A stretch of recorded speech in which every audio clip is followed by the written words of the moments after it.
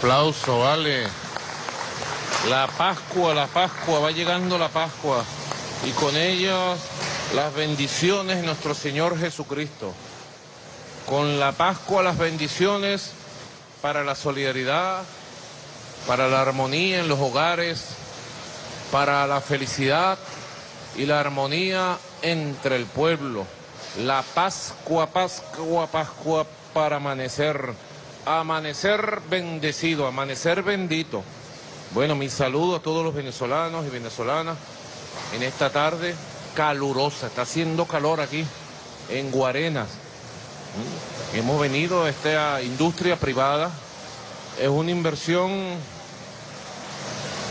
que tiene en nuestros años, en nuestro país varios años y bueno, que genera un importante producto para servir a Venezuela, servir a la colectividad como estábamos viendo. Mm, Pan Bimbo es muy famoso, famoso entre los famosos, muy buscado por vendedores de perro caliente y hamburguesa a lo largo y ancho del país. Muy buscado. Mi saludo a los gerentes de la empresa, mi saludo a los trabajadores, a las trabajadoras. Ahí los vimos, bueno, como siempre los trabajadores, con su disciplina, con su dedicación, con su esfuerzo, concentrados en su trabajo, como siempre, concentrados en su trabajo, los trabajadores y trabajadoras. Precisamente le doy mi saludo al gobernador del estado Miranda, Héctor Rodríguez Castro. Héctor Rodríguez, importante, ¿no? El parque industrial que tiene el estado Miranda, como en los años más duros, más duros, más duros, de los últimos tiempos, el parque industrial del estado Miranda se ha mantenido, bueno, trabajando, articulado. Bueno, ¿qué me puede decir el gobernador Héctor Rodríguez de la actividad económica en Miranda, de este parque industrial que cruza de norte a sur, de este a oeste al estado Miranda? Bienvenido. Vamos a darle un aplauso a este joven líder mirandino, Héctor Rodríguez Castro. Adelante. Gracias, presidente. Buenas tardes y bueno, feliz de tenerlo nuevamente acá en la zona industrial de Guarenas, Guatire, una de las más importantes zonas industriales de Miranda. Eh, Miranda tiene ahorita el 25% de las poligonales industriales de todo el país. La pequeña y mediana industria, presidente, en Miranda es fuerte en el sector agroalimentario, en el sector textil, en el sector del plástico, en el sector de la imprenta. Y bueno, nos place muchísimo que usted esté presente.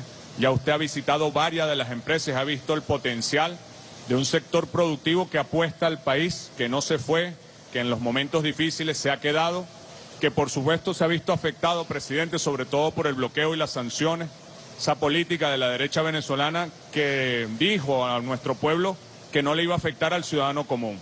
Pero muchas de estas industrias, presidente, dependen algunas de materia prima importada, como es el caso de esta industria, o de piezas, partes, tecnología que es importada y que sin duda esa política le ha hecho muchísimo daño al sector empresarial, al sector privado, a los agricultores, al ciudadano común. Por eso hoy el 90% de la población venezolana rechaza la política de bloqueo y de sanciones liderada, solicitada por la oposición venezolana.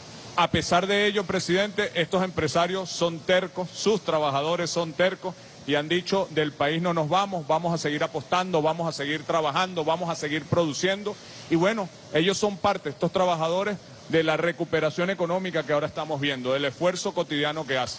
Presidente, cuente con este sector productivo. Hemos iniciado, presidente, para que sepa, un proceso de vacunación a los trabajadores de las empresas. Tenemos 22 empresas ya donde hemos vacunado a todos sus trabajadores. A la empresa Bimbo le toca el día viernes. Varios de ellos ya se han vacunado en las jornadas de vacunación de, que están desplegadas en toda Miranda, pero ahora estamos yendo empresa por empresa para garantizar que no se nos quede ningún trabajador sin vacunar. Cuente, presidente, con la clase trabajadora, con el sector productivo y con toda Miranda para levantar la economía y reconstruir el estado de bienestar bolivariano y los tiempos de prosperidad del pueblo venezolano. Tiempo de prosperidad, correcto, tiempo de prosperidad que hay que construir, hay que visualizar. ¿Mm? Esta es una inversión privada de México, internacional. ¿Mm? Y precisamente nosotros hemos creado el marco jurídico, el marco legal para que venga a Venezuela toda la inversión. Ahí está el Centro Internacional de Inversiones, que con la ley antibloqueo permite la inversión en todos los sectores de la economía. Inversión para la producción, para el crecimiento de la economía real, inversión para el desarrollo del país. Es una inversión extranjera cualitativamente necesaria, cualitativamente impactante, porque viene a impactar el crecimiento de la economía real. La economía real es la economía que satisface necesidades en la sociedad, que satisface las necesidades de la familia y satisface las necesidades de los trabajadores y las trabajadoras. Esa es la economía real. Venezuela del año 2015, 2016 hasta este año hasta el año 2020 y 2021 tuvimos cinco, seis años de eventos durísimos contra el comercio, la economía, las finanzas del país, que lo cambiaron todo. Venezuela cambió en su base estructural económica, gobernador, ministro Castro Soteldo, del castrismo, Ah, Venezuela cambió y se demostró, por un lado, todo lo que tiene que ver con la capacidad de resistencia, aguante y producción de su economía real. Hubo industrias que se mantuvieron al 5%, pero que se negaron a morir. Y esas industrias que se mantuvieron en resistencia, hoy tienen el horizonte abierto hacia el futuro para el crecimiento de su producción, con el crecimiento del comercio real, con el crecimiento de la economía real. Ahí tienen todas las oportunidades de crecimiento, de reinversión, de inversión productiva. También se demostró en estos años lo que se llama la resiliencia del pueblo venezolano el aguante, la conciencia, la perseverancia del pueblo venezolano, aguantando. ¿Cuánto aguantó el pueblo? ¿Cuánto aguantado? Pero 2021, ya estamos en el mes de octubre, 2021 es el año en que hemos retomado el crecimiento económico de la economía real, del comercio y de la vida económica del país. 2021. Y aquí vamos, miren, desarrollando, avanzando, trabajando, trabajando. Vámonos a hacer un pase para ver algo interesantísimo. Vámonos al estado Monagas, en la parroquia Aguasay, municipio Aguasay, en la finca Tonoro. Allá vamos a observar y a ser testigos de la firma de un convenio de producción entre la gobernación del Estado Monagas con el apoyo del Estado Nacional y la empresa brasileña Oruro Branco. Oruro Branco, Benvindo Oruro Branco, Brasil invirtiendo en tierras venezolanas para producir soya. Vamos a darle el pase al compañero Pedro Malaver, presidente de Agropatria, quien se encuentra con el productor de la agropecuaria Oruro Branco, Rubén Granado, y nos expliquen este proceso de alianza con inversión brasilera. Adelante. Saludos, presidente, viva la patria. Nos encontramos desde acá, efectivamente, desde el estado Monagas, municipio Aguasay, parroquia Aguasay, finca Toruro, donde en breve tiempo hicimos la firma de un convenio que nos permitió, presidente, impulsar y acelerar más en el marco de la gran misión, la gran misión Agrovenezuela y el motor agroproductivo, el desarrollo de la siembra de soya acá en el estado Monaga, con 4.500 hectáreas efectivamente sembradas y que ya, presidente, entraron en fase de cosecha este 2 de octubre. Importante resaltar, presidente, que desde este convenio se han logrado rescatar diferentes predios de producción que nos va a permitir expandir más la siembra de soya y algo importante, con semilla nacional elaborada desde ese convenio con la empresa Oruro Branco. Y en articulación con la gobernación del Estado Monagas, el Ministerio del Poder Popular para la Agricultura Productiva y Tierra y la Asociación de Productores Aprozoica. Pero quisiera, presidente, presentarle al compañero Rubén Granado para que nos explique un poco este tema de la semilla nacional y la producción de soya acá en el Estado Monagas. Rubén. Saludos, presidente. Buenas tardes a usted y a todo el equipo, a los compañeros que nos acompañan acá. Presidente, bueno, aquí estamos. Eh, Aprozoica y Oro Branco es una empresa eh, venezolano-brasilera que está acá en el país desde hace 21 años desarrollando lo que es el tema del cultivo de la soya. Aprozoica también es una empresa que a raíz del 2000, a través del 2016 arrancó con un programa de siembra de soya acá en el país. Fue un esfuerzo mancomunado entre la iniciativa privada, los productores privados y productores organizados acá en el oriente del país, con el objetivo, presidente, de impulsar el cultivo de la soya acá en Venezuela. Ese fue el norte con que se inició a Prosoica, acá en el oriente del país, llegando a sembrar 18 mil hectáreas de, entre maíz y soya. Hemos venido desde el año 2014 haciendo un proceso de desarrollo del cultivo intensivo de la soya, arrancando con 600 hectáreas, yendo paulatinamente aumentando las áreas de 600 a 1200, de 1200 a 2500, 3000, ahorita estamos con 4500.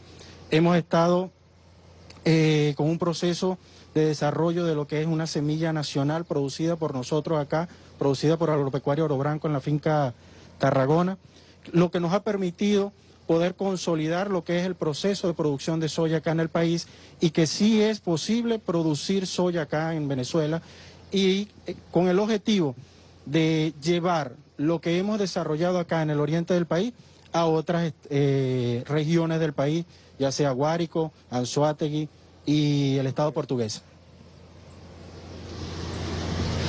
Sí, eh, presidente, es importante destacar, presidente, que con este convenio tenemos un plan en los próximos tres años para lograr incrementar la siembra a 200 mil hectáreas entre estos cuatro estados que ya le mencionaba el amigo Rubén. Esto nos va a dar todo el apalancamiento de poder obtener esta importante materia prima que iría a la agroindustria nacional en hacerle tres aprovechamientos. El aceite de soya, que puede ser utilizado para el consumo humano, la grasa de soya y la torta de soya, que sería un valor importante proteico para todo lo que es el plan de la proteína a nivel nacional en el marco de la gran misión Agro-Venezuela, presidente.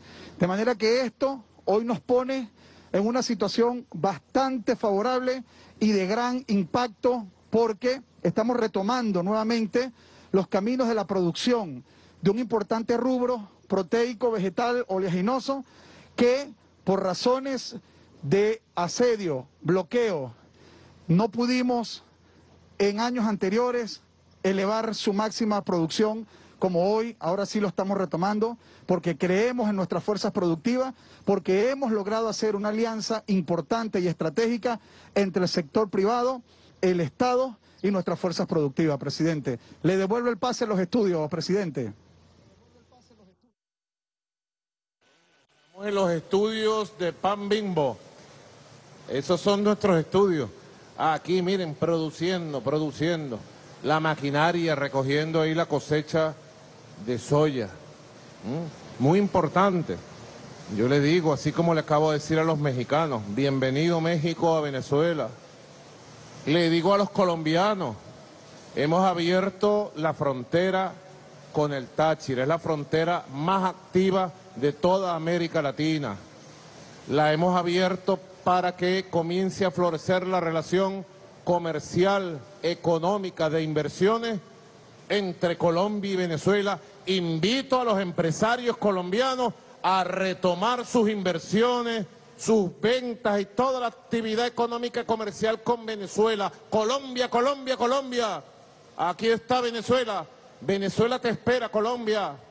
Por encima de torpezas políticas, de diferencias entre gobiernos, debe prevalecer la economía y debe prevalecer el derecho a la felicidad de los pueblos. Colombia, venga la inversión de los colombianos a Venezuela. Bienvenidos, hermanos de Colombia, vengan. Ya está estimado el paso, por lo menos mínimo, arrancando de 15 gandolas diarias de Colombia a Venezuela con productos.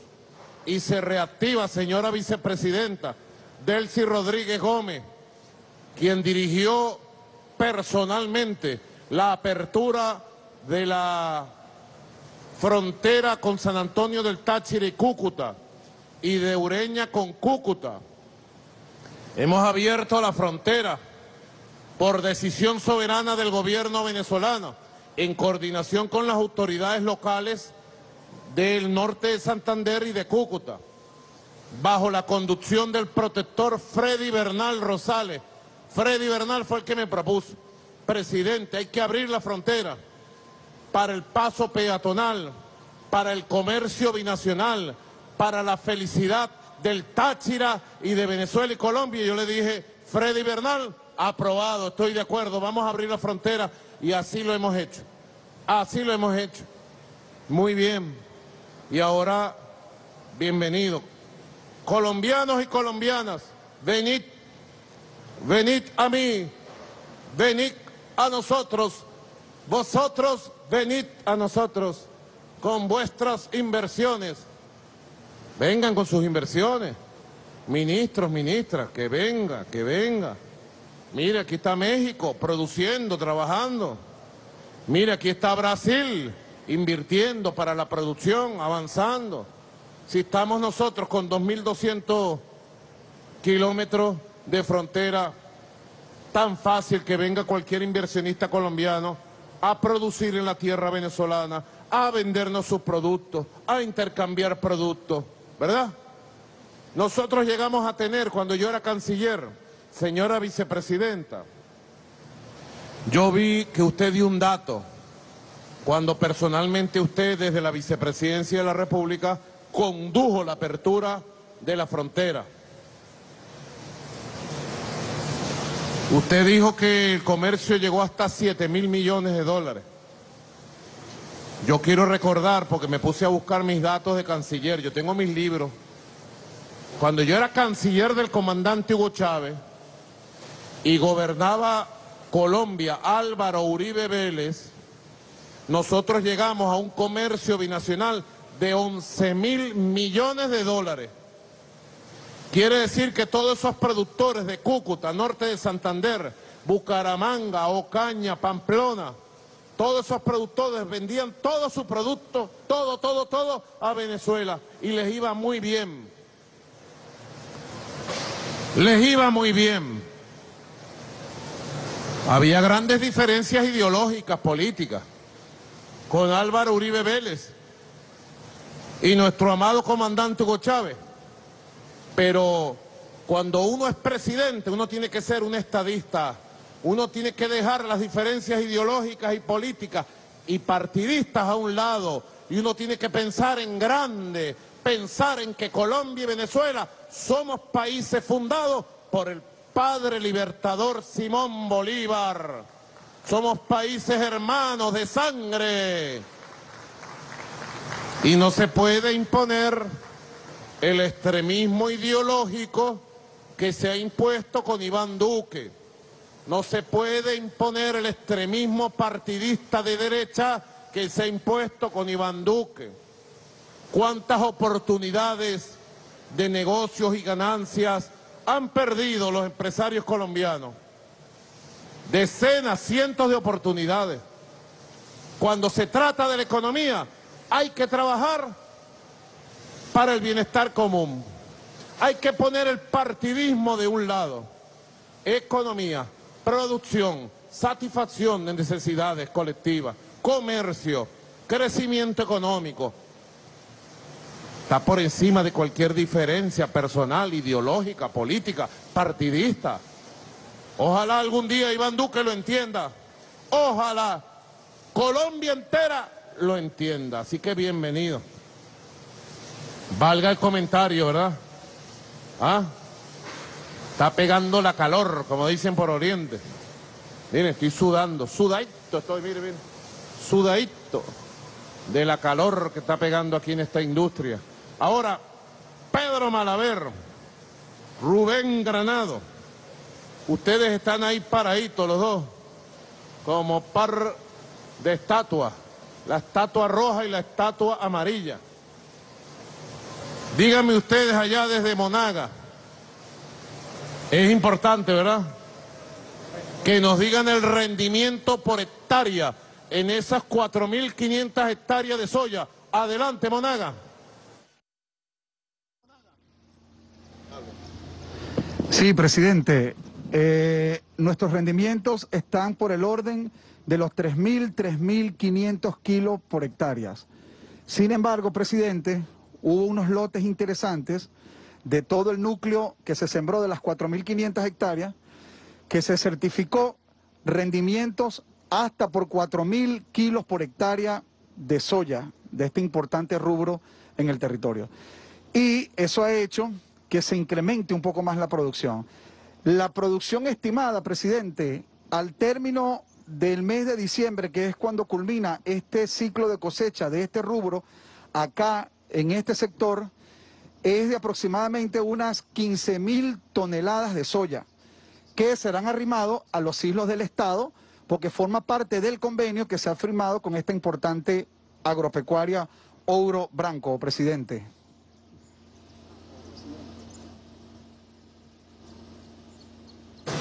Buen rendimiento, un rendimiento promedio bueno son 2.000 kilos por hectárea. Ustedes están llegando a 3.000, 3.500 y hasta 4.000 kilos por hectárea. Quiere decir que la tecnología que ha traído Brasil, la técnica que ha traído Brasil, es favorable a nuestra tierra. Esa tierra del oriente del país, Anzuate y Monaga, son consideradas tierras A1 para la producción en general, pero para la producción de soya en especial.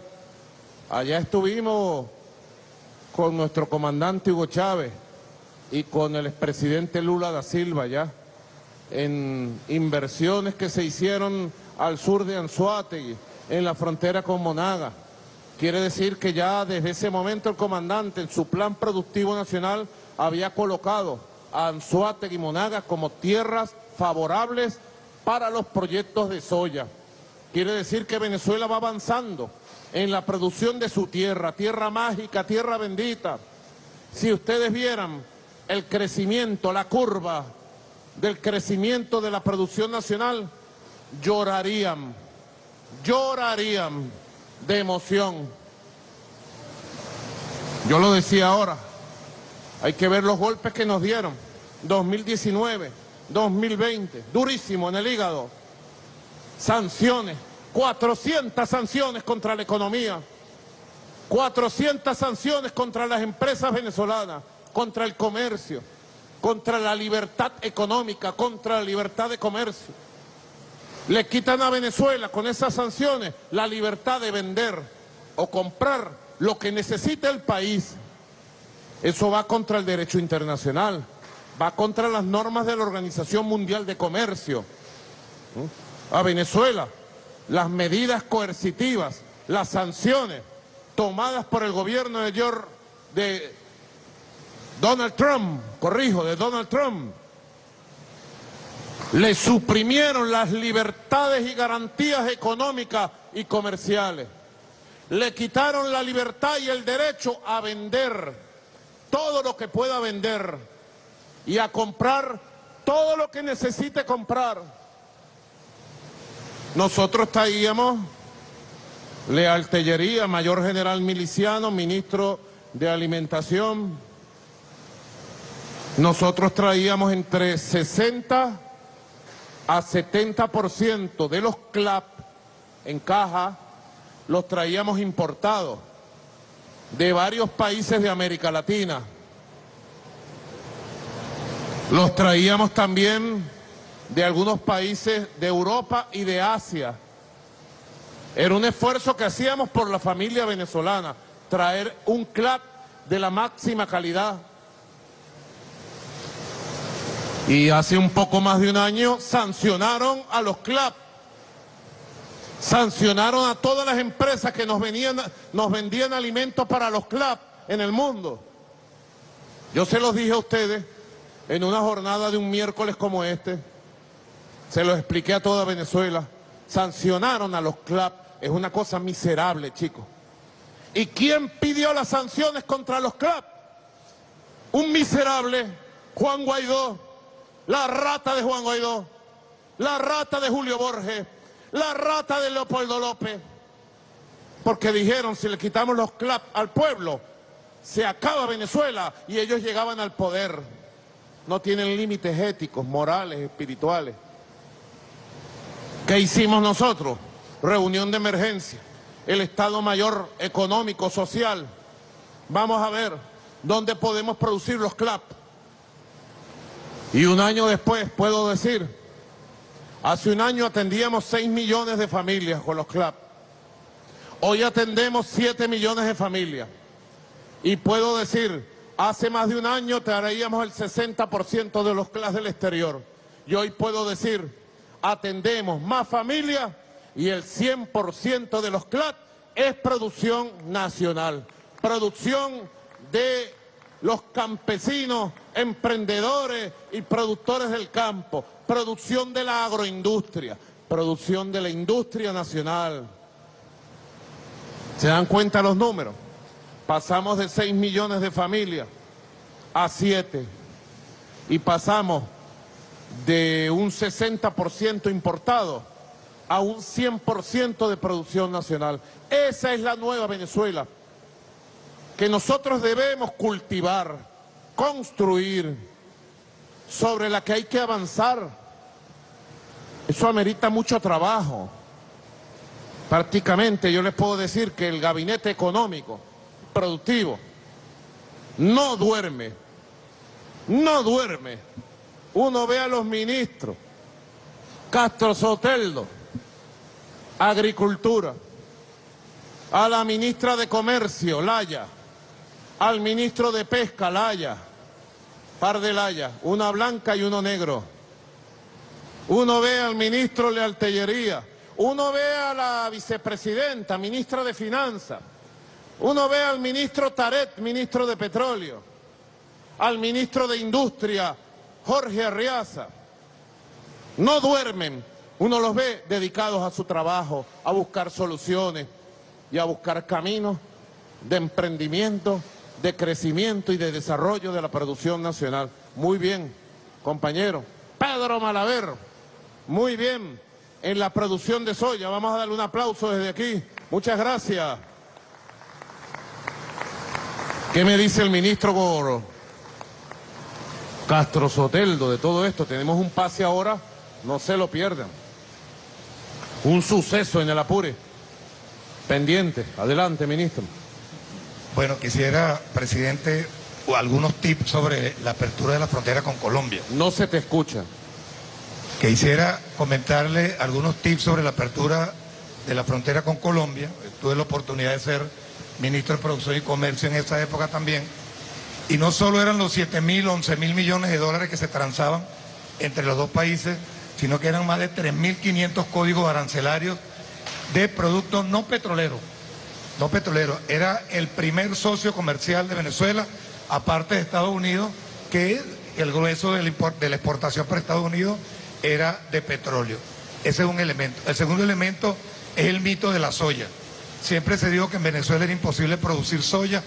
Ahí nos hemos trazado una meta bastante ambiciosa de procurar alcanzar 200 mil hectáreas de soya. Ahí es una experiencia exitosa, no solo en Bolívar, en, en Monagas, sino en el estado de Bolívar también.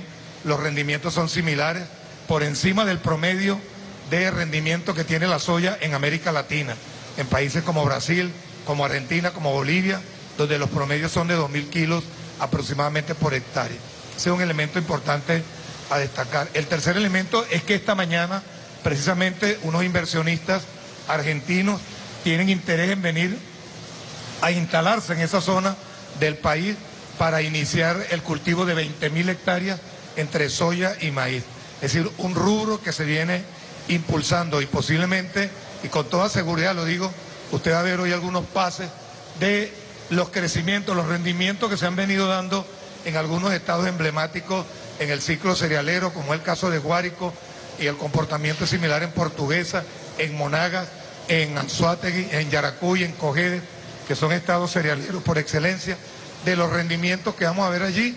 Y bueno, y el tubazo ese que usted tiene allí de, de una región de nuestro país, donde un proyecto que duró por muchos años dormido, eh, está despertando y está despertando con mucha furia, con mucha fuerza, y Dios mediante, pues ya lo vamos a tener eh, reflejado en todo el país, y, y yo diría que en mercados internacionales también. Bueno, bueno, bueno, bueno, nos vamos para Apure. Primicia de Apure, noticia de Apure, no te apure. Vámonos para el Mantecal, allá en Mantecal, en el sector Guaritico. Vamos a proceder a la inauguración del matadero industrial San Francisco. Allá está nada más y nada menos que Diosdado Cabello Rondón, incorporado a las tareas del crecimiento económico. Allá está con nuestro compañero el coronel Ramón Carrizales, gobernador en funciones del estado Apure. Wilmer Rodríguez, presidente de la Corporación Ganadera del estado Apure. Vamos a proceder a inaugurar oficialmente de paquete totalmente nuevo un matadero industrial que es capaz de procesar 600 animales diarios para la carne hacia todo el llano, hacia el occidente, hacia el centro del país. Ponle el ojo, lealtellería, para llevarle carne a todos los hogares venezolanos a través de los CLAP. Diosdado Cabello, apure, apure, adelante los bravos de Apure. Muy buenas tardes, Venezuela. Buenas tardes, compañero presidente. Aquí estamos nosotros en Mantecal. Mantecal. Esta es una de las instalaciones que soñó el comandante Hugo Chávez. Fue una idea de él de hacer en, en esta zona un gran matadero industrial. Muchos problemas para su instalación inicialmente, pero fue retomado con todo el, ímpetu desde la gobernación del estado de Apura, aquí está nuestro gobernador Ramón Carrizales, y está el compañero encargado de la, de la fábrica del, del matadero. Una instalación de primera calidad, presidente. Después de todas las reparaciones que se ha venido haciendo con mano de obra venezolana, con la ayuda de empresarios privados, inclusive que tienen mataderos, y prestaron la colaboración para que la gente pudiera entrenarse en otros mataderos, aquí podemos tener por día faenar hasta 600 animales. Esto se dice rápido, pero esto es un trabajo arduo, de detalle. Aquí va pasando el ganado ya una vez sacrificado, con todas las medidas desde el punto de vista de que evitarle el mayor el, sufrimiento al animal, luego viene lo que es el, todo quitarle el cuero, y viene la picarlo el- el- por la mitad del animal, que es para ser refrigerado, pesado, refrigerado, y ya esto que usted ve aquí, ya estos están limpios, completamente limpios, y van al túnel de enfriamiento luego para ser conservados. Esto le abre las puertas al ganadero que va a poder traer aquí al matadero sus animales directamente, sin intermediarios. Se le, además con una gran ventaja, presidente, se les pagará inmediatamente porque se ha creado un fondo para pagarle al, al- al quien venga a arrimar acá, pagarle de manera inmediata el precio que corresponde de acuerdo al valor de los animales. Es una obra extraordinaria porque va a dinamizar la economía en todo este sector, que usted sabe que, que depende mucho del tema ganadero, pero aquí ya comienza de una vez a trabajar el faenado de los animales y aquí hemos visto aprovechamiento del cuero, aprovechamiento de la sangre, aprovechamiento de la grasa, de los huesos, aprovechamiento hasta la médula del, del- del animal es aprovechada, extraída y llevada a otro, para, para otros usos. Toda la sangre y los huesos serán utilizados, o gran parte de ellos, para hacer eh, alimentos animales, para, la, para la, la generación de proteínas, para la alimentación de, de otros animales. Es una obra extraordinaria. Verla desde aquí adentro y verla desde afuera, uno no le queda otra que asombrarse de la capacidad de esta, de esta instalación con niveles de higiene un altísimo nivel. Desde que uno entra aquí, eh, uno puede notar que, la gente está trabajando con los estándares necesarios y adecuados para garantizar la higiene. El gobernador, cuando habló con usted y le pidió este matadero, estaba en verdad casi desmantelado, compañero gobernador, porque fue en algún momento abandonado, vino gente y quería desmantelarlo, se llevaron piezas y poco a poco, con el esfuerzo, con el esfuerzo de, de la revolución, hoy está en funcionamiento. Una obra extraordinaria, extraordinaria. Pasamos por donde ya está, los corrales donde están los animales, para el, uso del cuero del animal, para mm, que la gente, los trabajadores tengan aquí comedor, tengan donde, donde estar los trabajadores. Y es una, eh, de verdad, es una de las obras que reivindica la revolución, porque además aquí estaba empeñada la palabra del comandante Chávez. Yo siento una gran satisfacción y agradezco al compañero gobernador que nos, nos haya invitado venir aquí, porque esta es la palabra del comandante Chávez empeñada. Así como fuimos en estos días allá a San Agustín a inaugurar un- una clínica popular, era la palabra del comandante Chávez. Y aquí, hoy, es la palabra del comandante Chávez empeñada. Nosotros podemos decir hoy, comandante Chávez, el matadero que usted soñó ya está funcionando a plenitud y aquí comenzará a generarse una gran cantidad de empleo a la gente de la zona. Y es la prosperidad, presidente, que hemos venido hablando. Un productor pequeño que tenga 5 o 10 animales, eh, tenía que vendérselo a un intermediario y él lo llevaba a otro sitio. Ahora no, él se va a venir aquí, a este sitio, a arrimarlo y le van a pagar el precio que corresponde al productor. Incentiva la producción, motiva la producción y además está dejándolo en la zona. Y desde aquí tendremos capacidad, imaginemos, 600, 600 reses diarias. Cualquiera puede decir, no, 600 reses se comen en un ratico. Sí, pero 600 reses por día no, no, no se hace diariamente, no, lo- no se comen diariamente. Pues. Entonces viene esto a- a corregir, viene esto a llevar una facilidad que no tenían los productores de esta zona. Aquí se va a correr la bola, hermano gobernador. Se va a correr la, la bola y, y la gente que antes llevaba para otro sitio, aquí va a venir a arrimar su ganado sin ningún tipo de problema. Presidente, mire, aquí se ven los trabajadores, mujeres, hombres, todos y todas. Gente, compañeros de aquí, compañeros que fueron entrenados, repito, por, por personas que tienen mataderos que son privados y sin ningún tipo de, de problemas decidieron entrenarlos y hoy es una fuente de empleo adicional. Sintámonos felices, presidente, que hoy día estamos cumpliendo con la palabra empeñada a nuestro comandante Hugo Chávez. Hoy día Mantecal tiene su, su matadero industrial San Francisco. Matadero Industrial San Francisco va a ser el referente en toda esta zona de lo que es la matanza de reses de animales. Creo que damos, estamos dando un gran paso, un enorme paso, un enorme paso en el progreso y en el desarrollo de esta zona. Muchísimas gracias, compañero presidente. Recibo un abrazo desde aquí, desde el estado, el estado Apure. Mantecal está en Apure también, ¿verdad? Claro, es Apure. Pero estamos cerquita en la ruta que decía el comandante Chávez, cuando nuestro comandante Chávez decía que iba desde San Fernando y llegaba a la Y de Mantecal, y la Y de Mantecal, si agarraba a la izquierda, iba para Brusual, y decía, a la derecha agarraba para Brusual, y decía, no, yo no voy para allá. Agarro a la izquierda y me voy para el Orza. Hoy agarramos para este lado, para Brusual, porque Mantecal está en, en esta ruta. Esta ruta conecta directamente con la, con la ciudad de Barinas y es, es un extraordinario lugar. La ubicación es extraordinaria porque nos va a permitir recibir material de, de toda esta zona y desde aquí enviar ya el ganado beneficiado a cualquier parte de Venezuela. Muchísimas gracias, presidente. Aquí este pueblo está contento, está feliz porque cumplimos con la palabra de nuestro comandante Hugo Chávez. Un gran abrazo. Aplauso. Diosdado, Ramón Carrizales. Gracias, Carrizales. Carrizales es un hombre trabajador, empeñado, muy disciplinado, muy estricto, muy exigente y autoexigente. ¿Mm? Un hombre honesto, a carta cabal, Carrizales, coronel Carrizales. Gran, gran, gran compañero de nuestro comandante Chávez. Ahí está el matadero de Mantecal, de San Francisco. Ahí está. Es un super matadero. Pensado y diseñado y ubicado territorialmente por el propio comandante Chávez. Y es lo que yo te digo, Diosdado. Nos toca a nosotros. Te toca a ti, Diosdado. Me toca a mí.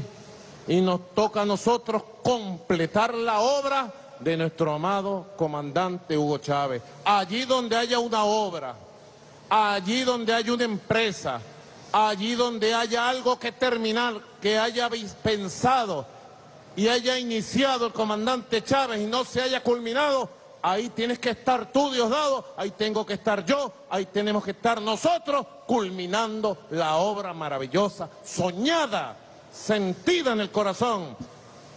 Misión cumplida, misión cumplida ahí en Mantecal. Extraordinaria obra, misión cumplida y ahora, ahora viene lo mejor. Ahí se va a producir carne pareja. ¿Ah? Te estoy viendo, Lealtellería. Es contigo, Lealtellería. Carne para los club. Carne para los club. Pido carne para los club. Mucha más. En el plan proteína, mucha más carne. Mucha más carne, compadre. Ahí tienes el matadero. Esa carne es tuya, Lealtellería. Vete para allá. Vete a darle una visita con Castro Sotelo. Póngala 600 animales diarios y por lo menos 400 para los CLAP. Ustedes me dicen que hace falta. Si hace falta recursos, llaman a la ministra de Finanzas que tiene todos los recursos. Y listo. ¿Ah? Carne y pescado. Venezuela come pescado. ¿Por qué? Porque es la proteína animal. Estamos produciendo el arroz, estamos produciendo los granos para ponerle al CLAP y para los mercados en general. El arroz, la pasta, la harina de maíz precocida. Hay más de 300 nuevas marcas de, marina, de harina de maíz precocida, una mejor que otra. Eso es una revolución económica, que en Venezuela haya 300 marcas. Antes había una sola de harina de maíz precocida, muy mala de paso. Se ha ido poniendo cada vez peor. Ahora hay 300, una mejor que otra. Llevarle el CLAT cada vez con mayor producto y llevar el plan de proteína animal, señora vicepresidenta, vicepresidenta, a su máxima expresión ir articulando, se dan cuenta, una economía diversa, una economía múltiple, propiciar el crecimiento de toda la economía, jugar al ganar, ganar. Si tú creces, yo gano, y si yo crezco, tú ganas. Si todos crecemos, todos ganamos. Ganar, ganar. Crecer en la producción, crecer en el comercio, ir buscando la igualdad, la equidad, en el tema de los precios, la igualdad, la justicia, la equidad, en el tema de los ingresos de los trabajadores y trabajadores, de los salarios y del ingreso mínimo de la familia, la equidad, ir buscándola que la vamos a lograr. Primero una cosa, después la otra cosa. Primero el crecimiento económico, la producción de riqueza y luego vamos paulatinamente mejorando el ingreso a través del carnet de la patria y a través de todas las formas de ingreso de los trabajadores. Diosdado Cabello Rondón, querido camarada, coronel Ramón Carrizales, pueblo de Apure, pueblo de Mantecal, misión cumplida, un aplauso desde aquí, desde esta industria. Gracias. Bueno, fíjense ustedes, ¿no? Sigue el calorón. ¿Mm? Pero sabroso, a nosotros nos gusta este calor así, cerrado, trancado. Muy importante, miren, el viernes de la semana pasada se dio el proceso de reexpresión, que fue un proceso necesario de eliminación de seis ceros de la moneda para que se cree un mejor clima en el proceso de comercio, en el proceso de actividad económica y se cree un mejor clima sobre todo de recuperación de la economía. Creo que el proceso de reexpresión ha sido un éxito, un éxito notable, porque trataron de sabotearlo antes del viernes primero de octubre, saboteando el cerebro del Banco de Venezuela, saboteando la banca. Trataron de sabotearlo el mismo viernes, sábado y domingo. Y no pudieron. Yo quisiera que la vicepresidenta ejecutiva de la República Bolivariana de Venezuela, doctora Del Cieloína Rodríguez Gómez, le diera a nuestro pueblo, dado que ella llevó las riendas de, como ministra de Finanzas del proceso de reexpresión, yo quisiera que le dijera a nuestro pueblo cómo se comportó la banca pública, cómo se comportó la banca privada, cómo va el proceso de reexpresión. Señora vicepresidenta, por favor, hoy, miércoles 6 de octubre, miércoles de economía. Adelante, por favor. Gracias, presidente. Bueno, lo primero que hay, en nombre suyo, dimos las gracias a la banca pública, a la banca privada, porque el cronograma que nos propusimos para este proceso, que consistió en suprimir seis ceros a nuestra moneda, se llevó a cabo tal cual como se planificó. Fue realmente una ejecución a detalle. Recordemos que el 30 de septiembre a las 8 de la noche entramos en una parada técnica de todos los sistemas electrónicos de la banca pública y privada y a partir de las 8 de la mañana del 1 de octubre ya los bancos se fueron incorporando progresivamente sin ninguna dificultad, sin ninguna perturbación. El Banco de Venezuela, que es el banco más grande del país, siempre lo resaltamos, 14 millones de usuarios que tiene nuestro Banco Venezuela, fue el último a incorporarse, pero dentro del cronograma que estaba establecido.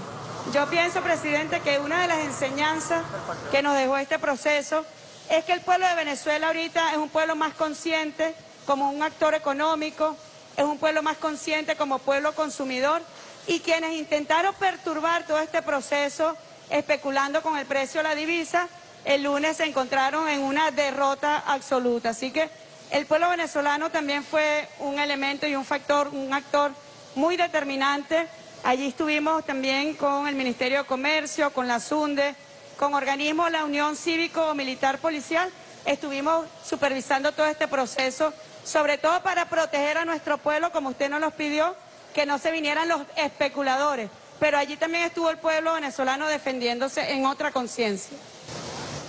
Excelente, bueno, pudiéramos decir la reexpresión viene a sumar, viene a sumar a las corrientes de un gran río, el río creciente de la recuperación económica comercial de Venezuela. Con esfuerzos propios, con pulmón propio, con músculo propio. Venezuela va avanzando. Quizá nuestra mayor debilidad en el modelo económico en los últimos 100 años ha sido la dependencia petrolera. Un esquema de capitalismo vulnerable, de capitalismo injusto, de capitalismo dependiente, de la renta del petróleo. Nosotros, y yo particularmente le digo a todos los venezolanos y venezolanas, estoy empeñado en construir una economía diversificada, diversificada en las fuentes de creación de riqueza, riqueza para el país, una economía postpetrolera, una economía con vocación productiva para satisfacer las necesidades nacionales con producto nacional y una economía con vocación productiva para la exportación y la generación de divisas convertibles, una economía integrada a nivel nacional, una economía con una poderosa base agrícola, como tanto nos decía Ali Rodríguez Araque, una poderosa base agrícola, no dependiente de la economía de puertos, una poderosa economía. Hacia allá tenemos que ir. Y todos los días tenemos que sumar, sumar, trabajo, esfuerzo, crecimiento, expansión, satisfacción de necesidades, sumar, sumar, sumar. Vámonos directo al Estado Táchira. Mi amado Estado Táchira. Tengo sangre tachirense, lo saben los tachirenses. Mi apellido Moros viene de allí. Capacho viejo, capacho nuevo, rubio.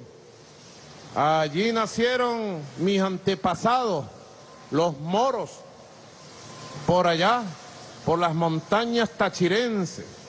Vámonos directo a la grita, en la aldea Aguacaliente. Vamos a hacer una inspección de la finca Valle Alto. Allá está Jesús Martínez, director de la Unidad Territorial de Agricultura del Estado Táchira, con la productora agrícola Andrea Méndez, con el productor agrícola Juan Carlos Escalante. Precisamente allá está en producción familiar la producción y siembra de papa, zanahoria, brócoli, fresa, cebollín y cuantas otras hortalizas. Adelante el Estado Táchira, adelante. Saludos, presidente. Nos encontramos en las altas montañas del estado Táchira, específicamente en el municipio de Jauregui, municipio de nuestro gran patrono, el Santo Cristo de la Grita, municipio productor. Estamos en la finca Valle Alto con nuestra gran productora que nos puede dar su experiencia. Saludos, presidente. Aquí estamos en el páramo de Rosal, finca Valle Alto, en donde puede apreciar este cultivo de papa, trabajo de día a día que nosotros con mucho esfuerzo hacemos todos los días. Bueno, presidente, este, le cuento que tenemos 40 hectáreas sembradas entre papas, zanahoria, remolacha, ajo porro, España, cebollín y entre otros rubros. Bueno, presidente, aquí este, esperando su mayor apoyo a nosotros los campesinos, a nosotros los productores, ya que nosotros somos los productores y productoras que hacemos por Venezuela, para que puedan llegar hacia Caracas, a otros estados, nuestros rubros que con tanto sacrificio nosotros llevamos a cabo. Felicidades, presidente. Presidente, aquí tenemos al, al productor Juan Carlos Escalante para que nos hable sobre el municipio Jauregui, la gran producción que tenemos acá. Juan Carlos, ¿qué nos puede decir del municipio? Saludos, presidente, de los páramos andinos, de los páramos del Táchira, del- desde la tierra sagrada de la Grita, del municipio Jauregui. Le enviamos un mensaje de felicitación por todo el trabajo que viene haciendo por el campo venezolano. Presidente, desde acá, desde el municipio Jauregui, hay y ha habido siempre una gran producción agrícola. Se distingue por ser una de las capitales agrícolas por excelencia de Venezuela. Seguimos con esa premisa y seguimos con esa labor.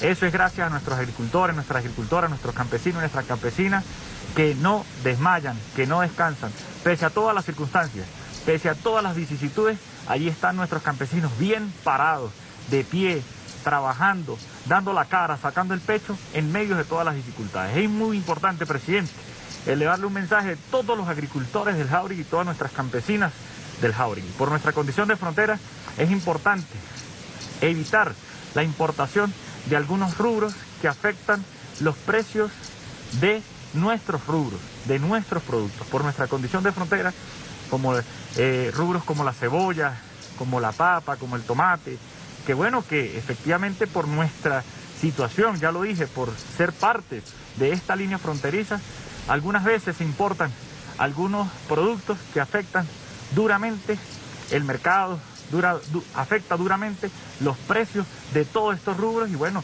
todo eso afecta a nuestros agricultores. No, corrigiendo, esa, corrigiendo esa situación, presidente, le aseguro que tendrá usted un campo más pujante. Nosotros no desmayamos. Somos una tierra bendita por la mano sagrada del Creador. Tenemos buena agua, tenemos buenas tierras y lo más importante, tenemos un campesino y una campesina preparados, trabajando todos los días, de sol a sol, poniéndole la espalda al sol, trabajando con entusiasmo, con, con ímpetu, con compromiso.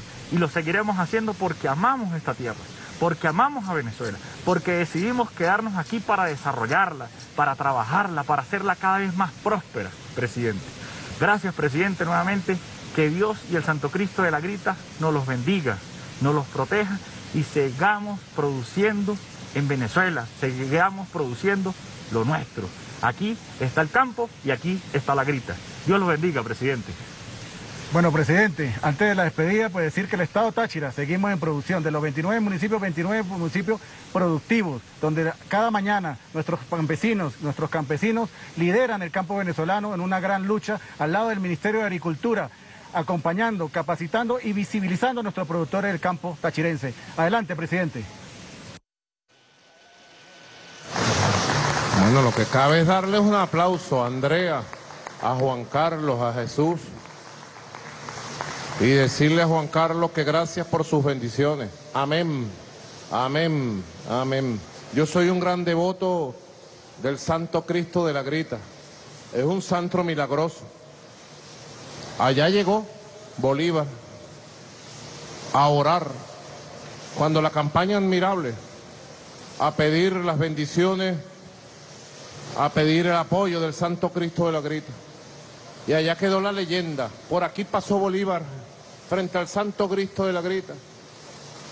Y no solamente demostró su devoción Bolívar, sino cuando se retiró, se retiró caminando de frente, viendo de frente y caminando hacia atrás y haciendo su oración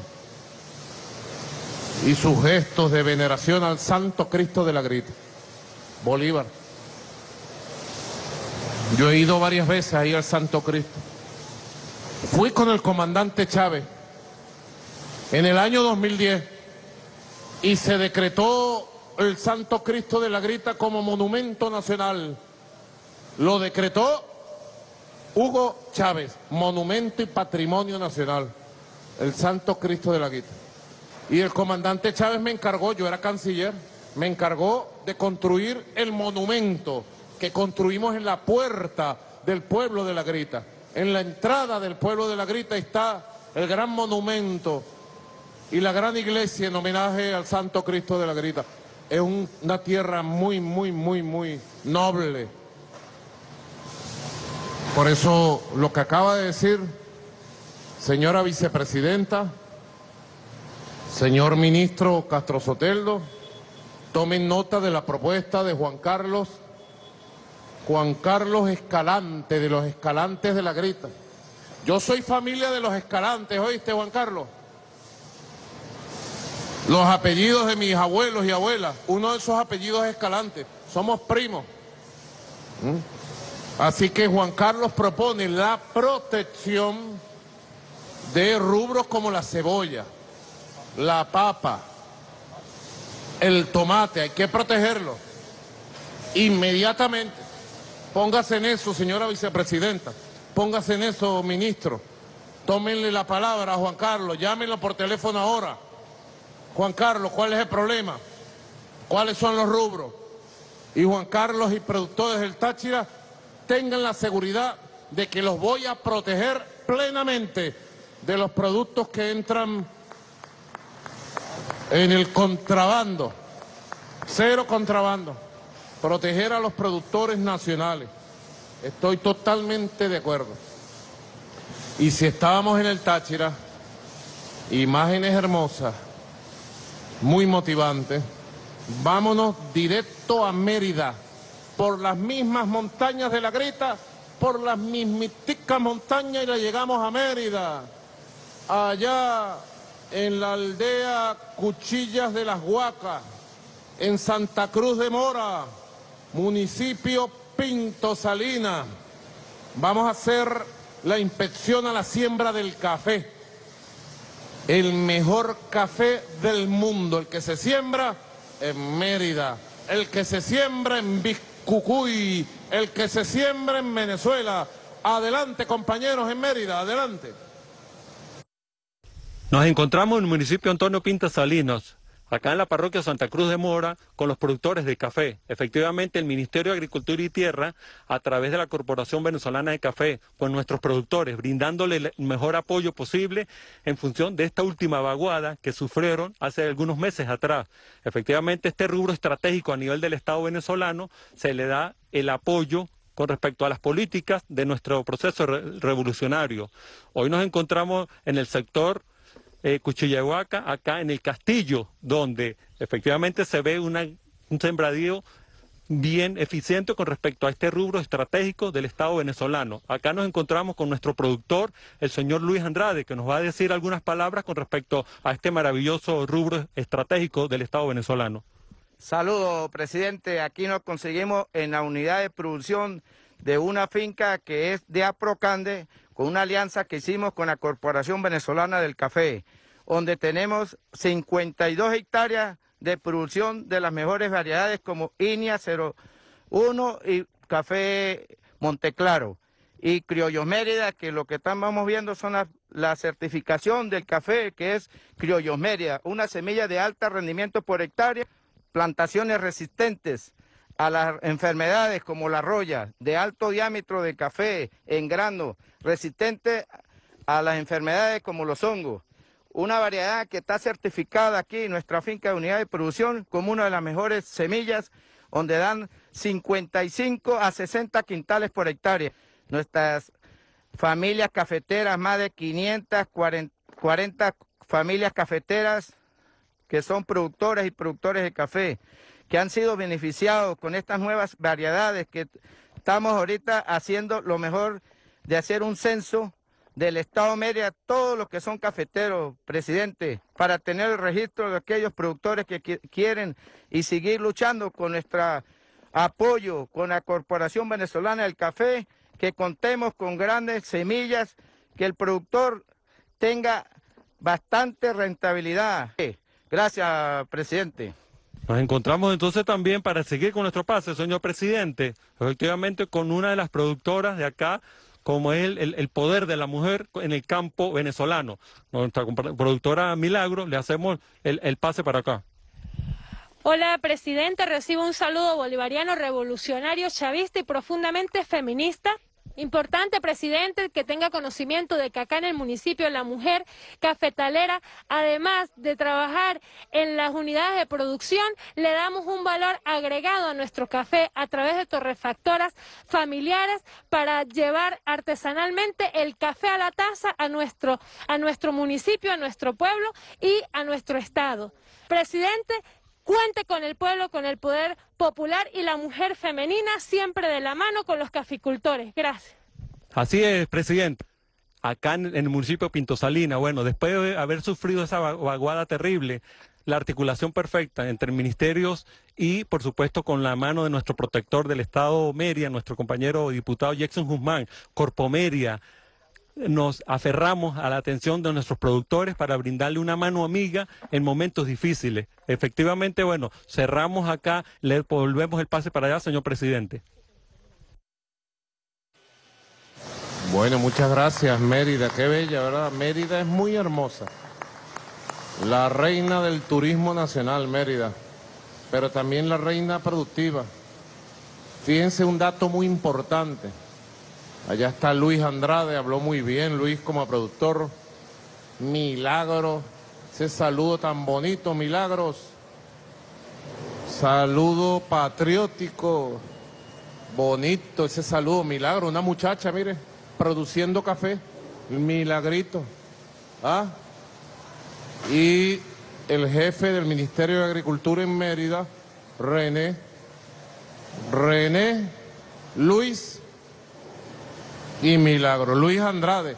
Estaba recordando un amigo mío del liceo, Luis Andrade. ¿Dónde estará Luis Andrade? Con pinche del liceo. Con pinche. Muy carismático él. Mi saludo donde esté Luis Andrade. Me acordé de ti. Porque Luis, el productor de Mérida, le vi bien la cara, pero no eras tú. Es otro Luis Andrade. Bueno, miren este dato. Cada vez que yo veo producción, le veo la cara a Lealtellería. Porque Lealtellería, con la ayuda de la vicepresidenta, deben llevarle café a todas las cajas CLAP. Café para el pueblo, café para los CLAP, compadre. Clap, clap, clap, clap, clap, clap, clap, clap. Ca, ca, café. Una cancioncita, miren. Ca, ca, café. Para, clap, clap. ¿Les parece bien la canción? Miren, vale, ahí están produciendo, fíjense ustedes, 56 quintales por hectárea. El promedio aceptado mundial son 32, 33 quintales por hectárea. O sea que ellos están muy por encima del el promedio mundial. Ahora cayó aquella vaguada y destruyó los sembradíos. ¿Qué hicimos? Limpiar la tierra, recuperar, y todavía estamos recuperando las zonas de acceso, las carreteras, llevar las plántulas y volver a sembrar de café la tierra que destruyeron las lluvias. Volverla a sembrar de café para que llueva café en el campo. Como dice la canción, para que llueva café en el campo, que llueva en el campo y que llueva en los clap. Clap, clap, clap, clap. Ya sabes, lealtellería. Nuevo trabajo. Cada vez que cumplimos una meta, vamos por más. Y cada vez que cumplimos otra meta, vamos por más. Y así vamos cada vez por más. Más crecimiento, más producción, más clap, más felicidad, más estabilidad, más recuperación. Recuperar a Venezuela con músculo propio, con trabajo propio, con siembra de la tierra. Recuperarla, recuperarla, recuperarla. Nuestra amada patria Venezuela, Mérida. Mérida, qué bella eres, Mérida. Mi saludo a los merideños y las merideñas. Qué bella tierra tienen ustedes, llenas de gracia. Tierra de gracia, Mérida. Tierra bendita. Tierra bendita, Mérida. Mi saludo a Santa Cruz de Mora y a todos los habitantes de Mérida. Y bueno, vamos a cerrar esta jornada. Vamos a darle un pase a José Vázquez, el gobernador de Guárico el hombre que ha inventado los lemas de esta jornada. Fue José Vázquez quien inventó el lema, producir es vencer. Y estamos venciendo. Y luego inventó el lema, al trabajo no le gana nadie. El hombre es creativo, inteligente, José Vázquez, muy trabajador, allá en el Guárico. Allá está en el sombrero, famoso, en el llano venezolano en la finca Piritico. Allá está en la cosecha del ciclo invierno del maíz. ¿Maíz para quién? Maíz para la arepa venezolana, maíz para el pueblo venezolano. Adelante, querido gobernador del Guárico, José Vázquez, adelante. Les saludamos desde nuestro estado bolivariano de Guárico, acá en el municipio Mellado, en la parroquia El Sombrero, finca Piritico. Y hemos venido a iniciar la cosecha ciclo invierno específicamente de los cereales en el rubro de maíz. Nos encontramos acá con el productor Evaristo Solano. En esta finca se van a cosechar 3.830 hectáreas de maíz sembrada con el sudor de este guariqueño y de todo su grupo solano, el grupo familiar. Evaristo. Buenas tardes, presidente. Eh, dando inicio aquí a la cosecha del ciclo 2021. Estamos agradecidos de la gobernación del Estado Guárico, gobierno nacional, ministerios de Agricultura y Tierra, también a la gente de Pequibén, todos poniendo su grano de arena por, para hacer esta realidad. Juntos somos más, eh, unidos somos más y solo así podemos lograr estos objetivos. Gracias, presidente. Fíjate, Evaristo, y algo muy importante. Fíjense en la siembra de este año, que además estamos arrancando con las asociaciones productivas. 232 mil hectáreas. Estamos nosotros con arroz 21.170 y maíz 210.720, que hoy iniciamos la cosecha. Pero ¿qué quiero yo mostrar acá? La unidad de las fuerzas productivas, la unidad de todo el sector productivo de Guárico. Aquí nosotros podemos ver cómo los campesinos, más de 6.700 campesinos, 36.771 hectáreas.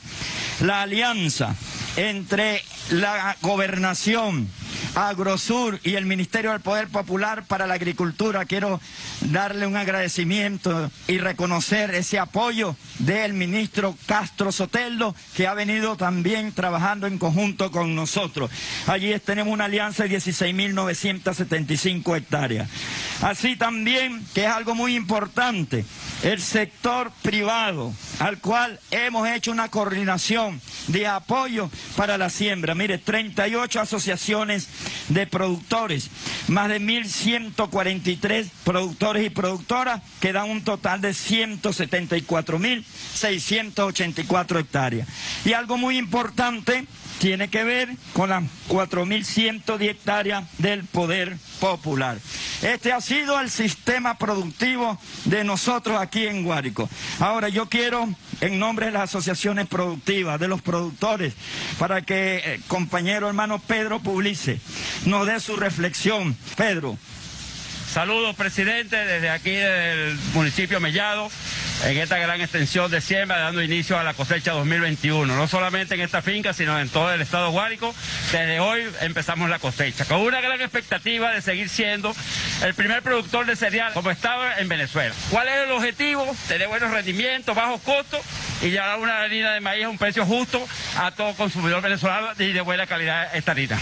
Gracias, Pedro. Fíjense algo importante y todos los que nos están observando el sistema productivo, que además nosotros como hemos venido asumiendo el compromiso desde el 2017, hay que decirlo, mira el crecimiento de 108 mil hectáreas en el 2017, 2018 130 mil, 2019 150 mil, 2020 237 mil 434 y en el 2021 279.260. Es decir, un 158% de aumento con respecto al 2017. Se dice fácil, pero ha sido un esfuerzo fundamental. Desde el Estado Guárico, presidente, un saludo. Cuente con nosotros. Gracias por todo su apoyo. Adelante. Extraordinario. Guárico, Guárico, Guárico, Guárico. El corazón de Venezuela, Guárico. De punta a punta, ¿se dan cuenta? De punta a punta. Desde las tierras de Monaga a las montañas del Táchira, a Mantecal allá con Diosdado en Apure a las montañas y al valle de Mérida, todo, maíz, soya, café, carne, pan, pan, pan. En tu nombre, Señor Jesucristo, con tus bendiciones Recordando a mi querida madre, mi madre siempre decía frente a las dificultades, Dios proveerá. Y yo siempre digo frente a los problemas y las dificultades, Dios proveerá. Y Dios me ha demostrado que pone su mano para proveer al pueblo de Venezuela. Y el Señor Jesucristo nos multiplica los panes, los peces, el café, el maíz. Con Jesucristo nuestro Señor, vamos adelante con su amor, con su ejemplo, con su doctrina y con sus bendiciones, con fe, con trabajo, con la ciencia. Me estaba diciendo el ministro Castro Soteldo el rendimiento de la hectárea por maíz en Guárico. Estaba hace dos años, 2.500 kilos por hectárea y ahora la tenemos entre 5.000 a 7.000 kilos por hectárea en el Guárico.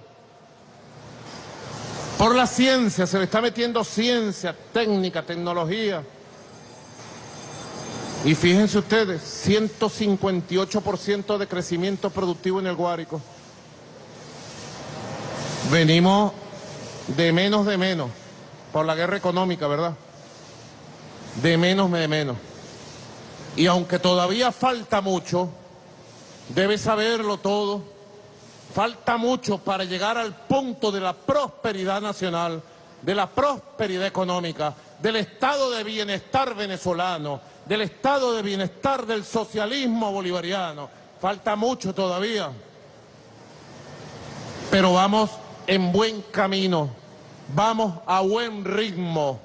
Y este año, 2021, es el primer año del crecimiento económico y del despegue de la economía productiva, del despegue de la economía real para beneficio de todos y de todas.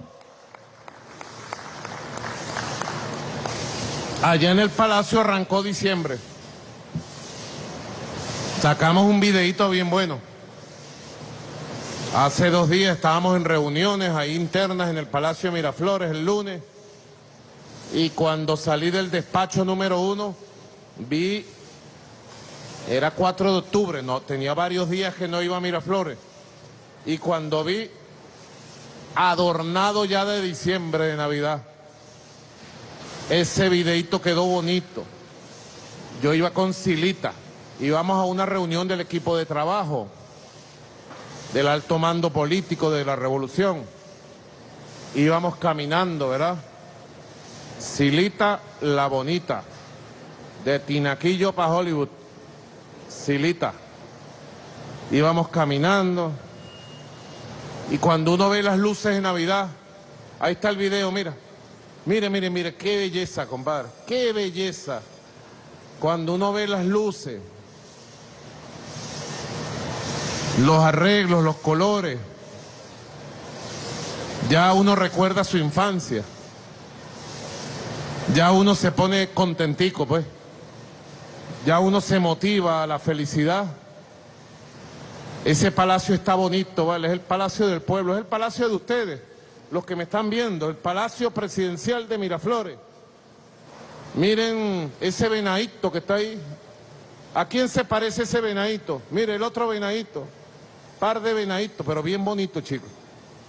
Buen gusto. Quiero felicitar al general Jorge Márquez, ministro de la Presidencia, por el buen gusto. Vale, un aplauso al general, general de las luces. Y entonces cuando uno dice, está terminando el año 2021, ahí está el videito. Ponle sonido, ponle sonido.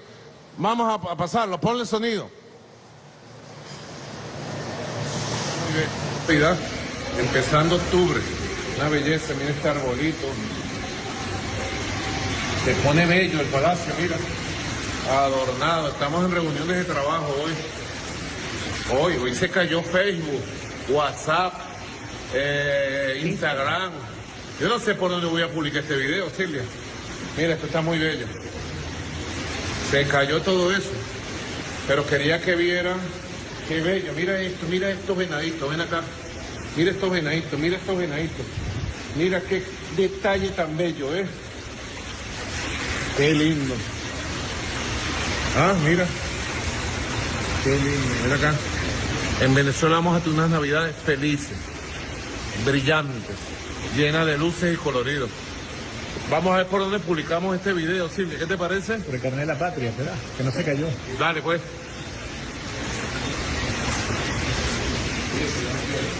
Navidad. Navidad. Y como va llegando la Navidad, hoy miércoles productivo, hoy miércoles buenas noticias, hoy miércoles verde, hoy miércoles de crecimiento, vamos a cerrar 6 de octubre rumbo a un cierre exitoso, feliz y de crecimiento de nuestra patria Venezuela. Ganar, ganar. En Venezuela cabemos todos para producir, para crecer y para ser felices. Con la gaita nos despedimos a golpe de tambores. Que viva la felicidad de Venezuela. Hasta la victoria siempre, Venezuela. Gracias. Hasta la próxima.